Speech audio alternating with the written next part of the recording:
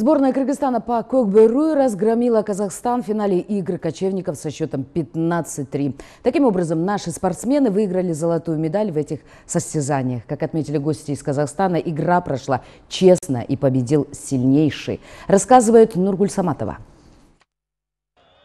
Финальная игра по Кукберу стала кульминацией игр кочевников. Именно этого поединка ждали гости все шесть дней, и ожидания оправдались. Игра была очень зрелищной. Состязание проходило жестко, но, честно говорят судьи, к этим играм кыргызстанцы готовились долго, ведь три года назад сборная Казахстана одолела наших спортсменов. Сегодня два братских народа, наследники древних кочевых держав, вновь сошлись в поединке. На первых же секундах гости взяли улак и могли открыть счет, но Нурджигит Мырзабаев не реализовал свой момент. А на четвертой минуте Манас Ниязов был удален с поля на две минуты, и казахстанцы получили численное преимущество.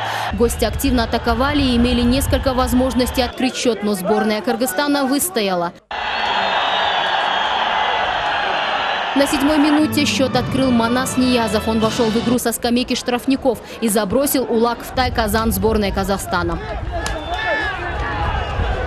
Следующие два периода кыргызская команда практически не дала возможности сопернику забросить козла в свой котел. Итак, сборная Кыргызстана победила со счетом 15-3 и во второй раз завоевала золото игр кочевников, а серебро досталось казахам. Ну, это спорт. Э, побеждают всегда сильнейший, у кого больше желания. Э, больше упорства, больше тренировки. В составе сборной Кыргызстана отличились Рустам Тыналиев, Улан Насакеев, Сейдбек Анарбекулу, Темир Молдакулов и Манас Ниязов, который пять раз успешно атаковал Тайказан соперника. 23-летний уроженец Узгенского района шестой год занимается этим видом спорта. Я пять раз закинул козла в Тайхазан. Моего скакуна зовут Бойко, он помог мне. Соперники были очень сильные, они по возрасту и по телосложению больше крупнее нас, но мы хорошо подготовились. По возрасту казахская команда была старше и опытнее. Откровенно говоря, наша команда плохо подготовилась. Мы до последнего думали, что не приедем, потому что все средства государства были направлены на Олимпиаду и не было сборов. Следующим героем сегодняшнего состязания стал 27-летний Улан Наскеев, который более 10 лет занимается кокберю. Он трижды закинул улак в котел казахов.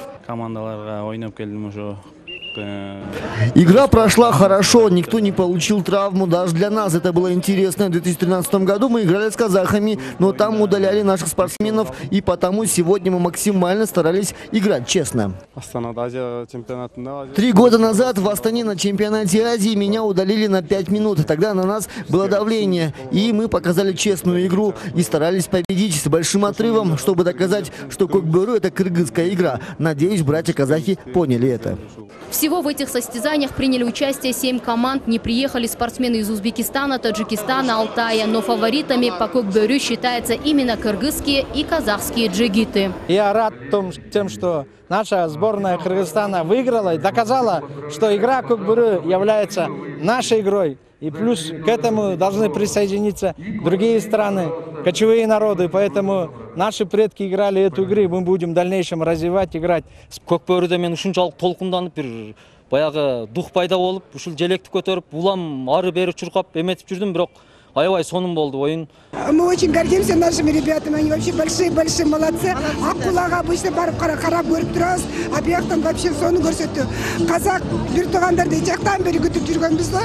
Жакшы деңгээлде болду көчмөндөр экенибизди даңктадык кыргыздар аябай кубандым молодец кыргызстан алга көкбөрү сегодняшняя встреча показала что в көкбөрү играют настоящие кочевники. Она требует не только силы ловкости знания техники но и прежде всего уважения противника противника и благородства. Кыргызская команда в честной игре показала свое превосходство над соперником. Нургуль Саматова и Сентура Быкеев, Общественный первый канал, Чолпоната.